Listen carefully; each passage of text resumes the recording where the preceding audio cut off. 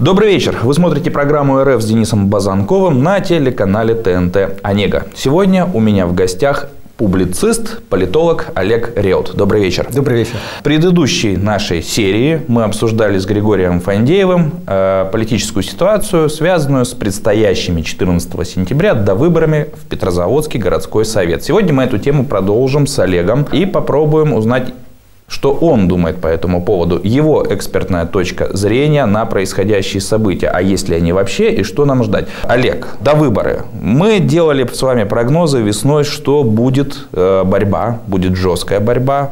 А оправдываются ли эти прогнозы? С точки зрения ожидания, я думаю, что они вполне оправдываются, поскольку ситуация в Петросовете, она не изменилась, есть некое такое равенство, паритет между политическими основными силами, плюс-минус один голос, и поэтому от результата этих выборов зависит возможность политической траектории развития Петросовета на ближайшую перспективу. Поэтому ставка на самом деле довольно-таки большая, и я добавил бы еще один такой аспект, который мы ранее никогда не затрагивали. Он связан с перспективными губернаторскими выборами. Будут ли они плановыми либо не плановыми, но очень важный момент заключается в том, что кто бы ни был кандидатом э, в губернаторы, он будет проходить муниципальный фильтр. И вот сейчас э, в других регионах мы как раз наблюдали ситуацию, когда ряд кандидатов этот муниципальный фильтр не прошли. То есть они не получили подписи в поддержку со стороны муниципальных депутатов. Поэтому удельный вес э, вот этого депутатского мандата, э, он становится выше, он становится э, ну, более значимым.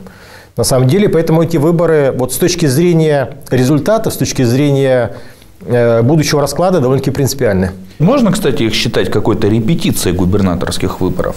В какой-то мере, повторюсь, вот если э, тот либо иной кандидат не сможет преодолеть муниципальный фильтр, то он не будет зарегистрирован как кандидат. По крайней мере, это нынешнее законодательство такое, оно вроде бы не будет меняться э, в ближайшем электоральном губернаторском цикле.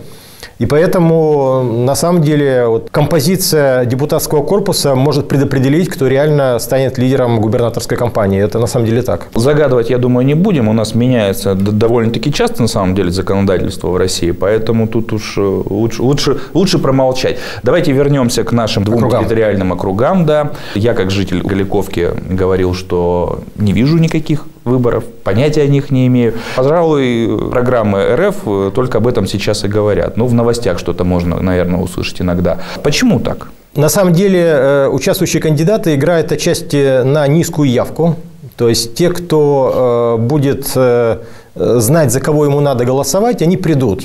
А в целом обеспечить высокую явку, ну там, скажем, более 25% хотя бы, я не говорю про 50%, более 25% кандидатам, видимо, не желается они ориентируются на э, приход э, на избирательный участок и правильное голосование, ну, правильно в кавычках, со стороны тех, кто будет ими подготовлен, не знаю, упакован, и тот, кто о выборах как бы узнает непосредственно от кандидатов в плане вот таких вот мотивации того, что надо будет делать в воскресенье 14 сентября.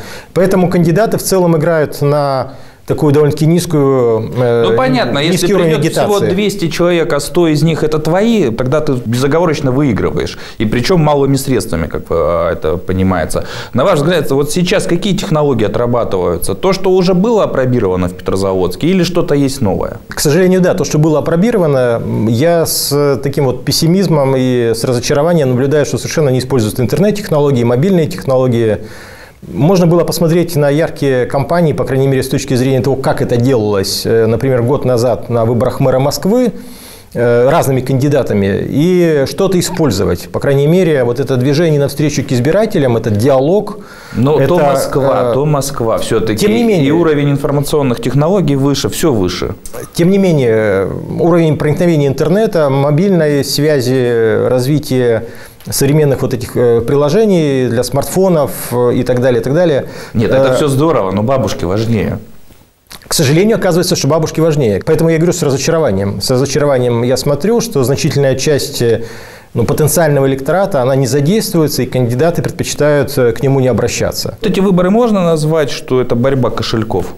Любые выборы – борьба кошельков. Здесь вот важный такой момент. Э, если мы сам помним последние э, как бы, выборы вообще ну, вот в России крупные, да, то там такой своеобразный нерв, он был связан с некой такой честностью выборов. Потому что выборы не считались э, частью граждан в полной мере честными. Да, и вот в студии ТНТ у нас тоже был разговор, должны ли быть выборы честными с точки зрения равенство возможностей кандидатов. Но у кандидатов нет равных возможностей. И быть не может по определению. В принципе, да. И здесь мы тоже с вами наблюдаем довольно-таки любопытную ситуацию.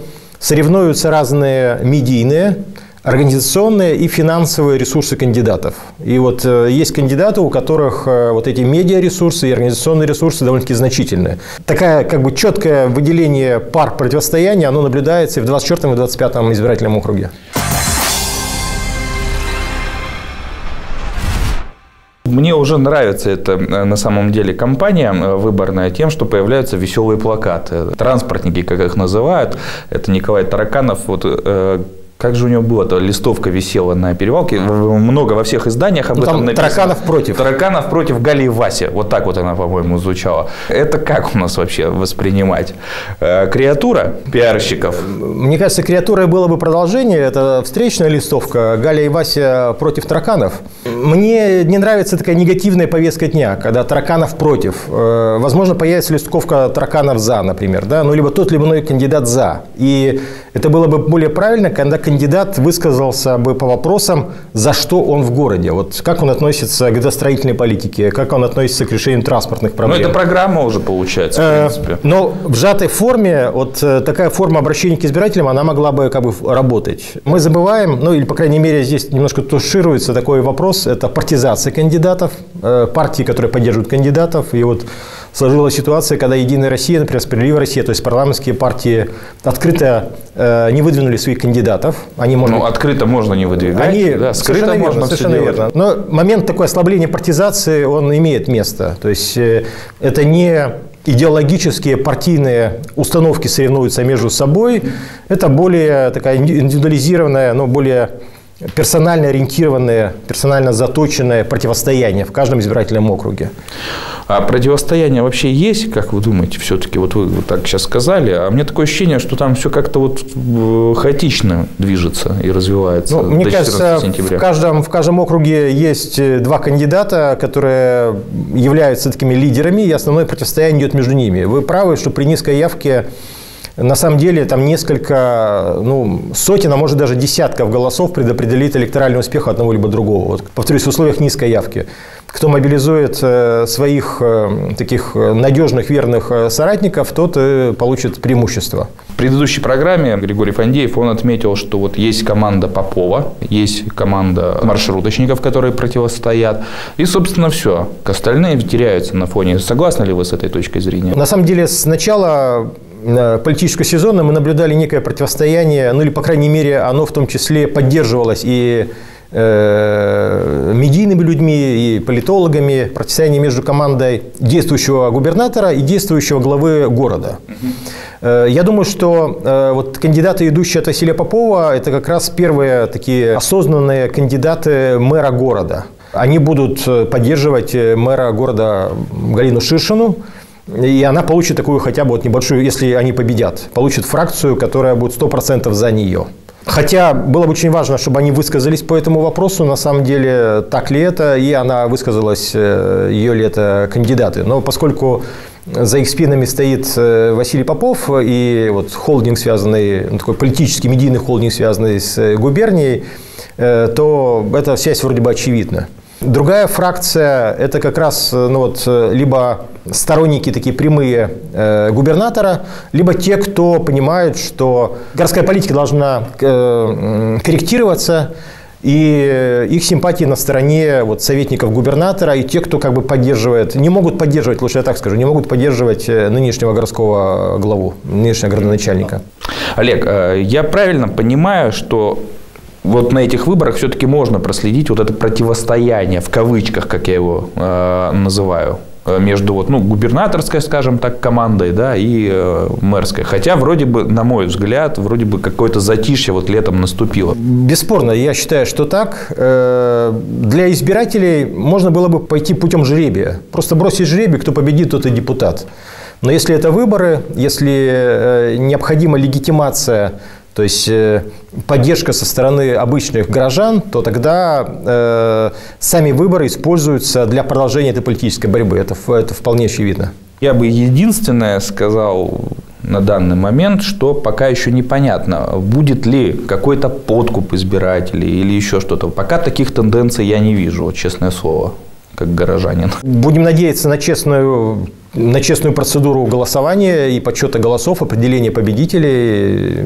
Здесь, как бы, я думаю, все выступают за честные выборы. И на самом деле ну, пока таких э, сомнений э, их, их нет. Единственное, чтобы я сказал нашим телезрителям, кто в этих округах живет, кто будет голосовать, если проголосовали за 500 рублей, образно за 100, за 200, неважно за какие деньги, то потом нечего спрашивать с власти, почему у вас то-то и то-то не работает, и дорог нету и так далее. Честное слово. И на телевидение звонить тоже бесполезно. На этой ноте я предлагаю сегодня закончить. Я думаю, что на следующей неделе мы с вами встретимся в этой студии вновь, потому что я думаю, каждый день сейчас будет э, решающим э, в исходе выборов 14 э, сентября. Я думаю, что-то новое обязательно появится за эту неделю. Убежден, что большинство избирателей еще не определилось в своих предпочтениях, в том числе нету данных социологии, поэтому каждый день на самом деле будут приносить какие-то события, и ответственные горожане, я думаю, как раз сделают выбор в течение вот этих трех недель, ну, смотря на повестку дня как ежедневно. Я думаю, все кандидаты хорошие. На этой ноте действительно действительно мы заканчиваем сегодня программу. Вы смотрели РФ с Денисом Базанковым. У нас в гостях был публицист и политолог Олег Риот. Увидимся через неделю на ТНТ Онега. До свидания. До свидания.